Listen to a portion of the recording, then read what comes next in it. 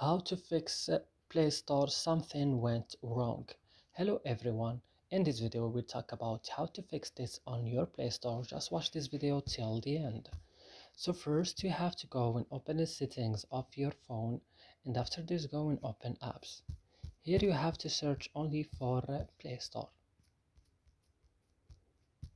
Where is Play Store? Open it like this when you found it then go to storage option and click on clear data then click ok go back and click on force stop and click ok. And now you have now to go to change system setting if it is uh, like this. You have now to turn on it like this.